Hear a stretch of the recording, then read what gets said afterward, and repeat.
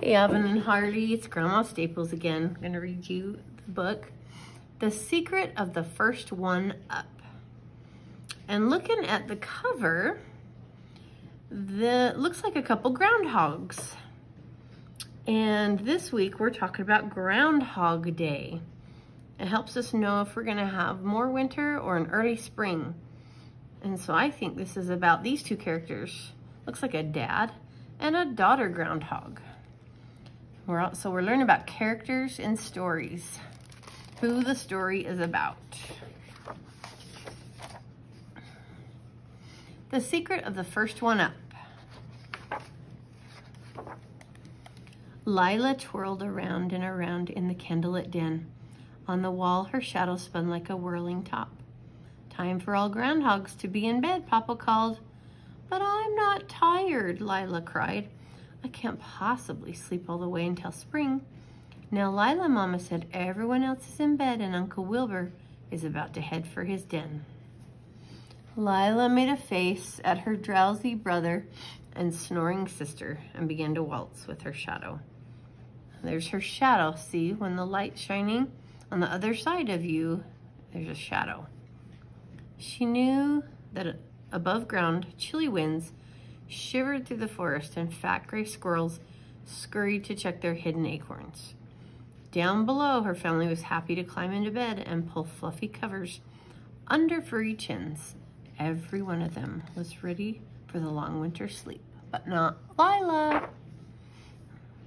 I hate to go to bed, she said. It's such a long, long time until spring. That's how I used to feel when I was a young groundhog, Uncle Wilbur said. But now I enjoy all the rest I can get.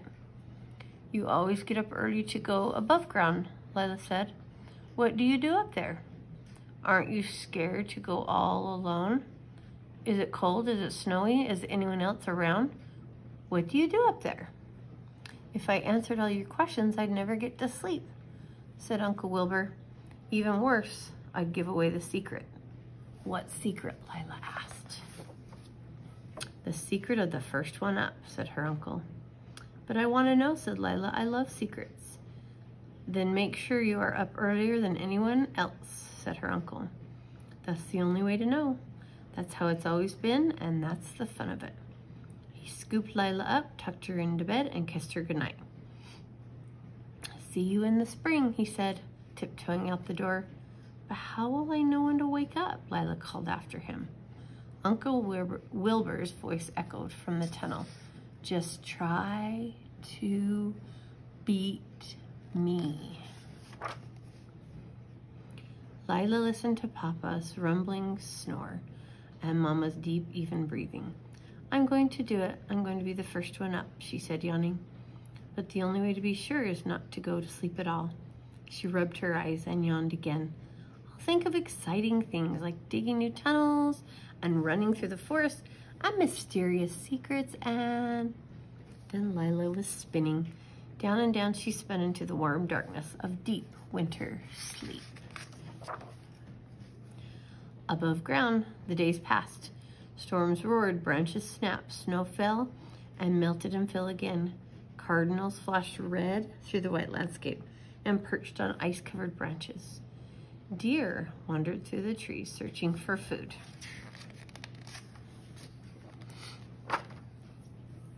And then, one day, Lila's eyes flew open. She leaped out of bed. Who's there? What happened? She cried. Nothing moved. No one was awake. But Lila knew from the smell of the air and the feel of the earth that a long time had passed since her Uncle Wilbur had tucked her into bed.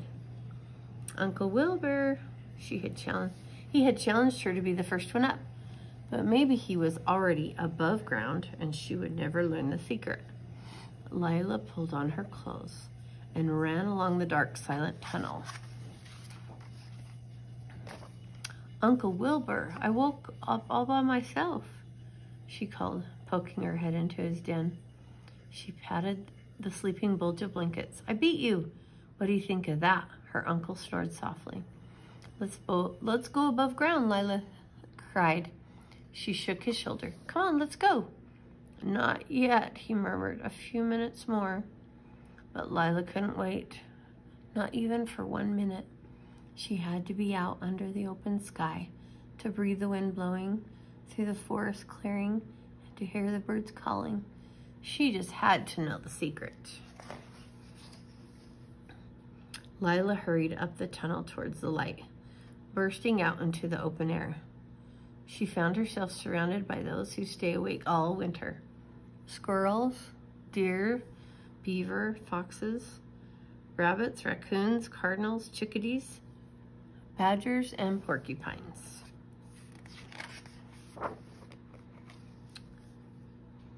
Tell us, tell us, they cried. Do you see it? Lila blinked in the bright light. See what? she asked. Your shadow, cried the animals. Do you see your shadow? Was the secret about shadows? The animal stood watching her. No one moved. The clearing became so still that Lila's ears roared with silence.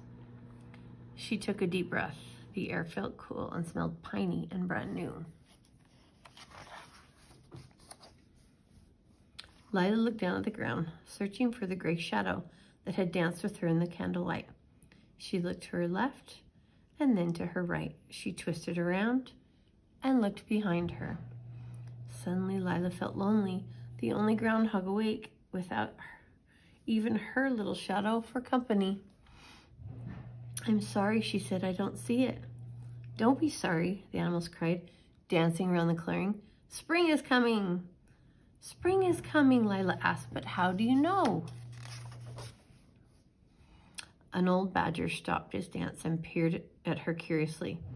My Uncle Wilbur said if I was the first one up, I would learn a secret, Lila said. Ah, yes, the secret, said the old badger. It's very simple.